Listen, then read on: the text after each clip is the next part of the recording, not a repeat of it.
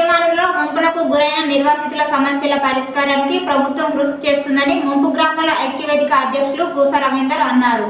రాజన్న సిరిసిల్ల జిల్లా బోయినపల్లి మండలంలోని నీలోజుపల్లిలో ఆదివారం మెగా హెల్త్ క్యాంప్ కార్యక్రమం నిర్వహించగా ఈ కార్యక్రమానికి చొప్పదండి ఎమ్మెల్యే మేడిపల్లి సత్యం హాజరయ్యారు. ఈ సందర్భంగా కూస రవీందర్ మాట్లాడుతూ గత ప్రభుత్వంలో ఎమ్మెల్యే నీలోజ్పల్లి గ్రామానికి వస్తే వంద మంది పోలీసులతో అరెస్టులు చేస్తూ ఉండేదని కానీ కాంగ్రెస్ ప్రభుత్వంలో ఎమ్మెల్యే వస్తే ఒక ఎస్ఐ పోలీస్ సిబ్బంది ఉన్నారని గత ప్రభుత్వానికి కాంగ్రెస్ ప్రభుత్వానికి ఉన్న తేడా ఇదేనని అన్నారు. భయానక వాతావరణం. మనం గొంతమ్మ కోరికలు ఏం కోరలే. గత ప్రభుత్వం మనకి ఇస్తాన్న హామీలే అడిగినాం. మరి ప్రజా ప్రభుత్వం వచ్చింది.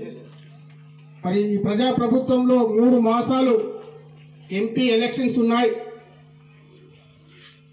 ఈ ఎంపీ ఎలక్షన్ల తర్వాత ఎమ్మెల్యే గారు ఒక నిబద్ధతలో నిర్వాసితుల సమస్యలు ప్రతి ఒక్కటి తెలుసు.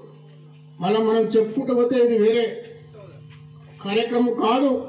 ఖచ్చితంగా మన నిర్వాసితుల సమస్యలు పెండింగ్ సమస్యలు అతి త్వరలో తీరుస్తారు. ప్రధానమైన సమస్య ఐదు లక్షల నాలుగు వేల రూపాయలు. వాటి గురించి కూడా మన మంత్రి గారు ఛాంబర్లో ఎమ్మెల్యే గారు ఎంపీ గారు సారీ మంత్రి గారు చర్చించారు. వాటి మీద త్వరలో ఒక నిర్ణయం వస్తుందని చెప్పి తెలియజేస్తూ ఈ అవకాశాన్ని నాకు ప్రజల మధ్య కల్పించినందుకు మరొకసారి కృతజ్ఞతలు తెలియజేస్తూ ఇప్పుడు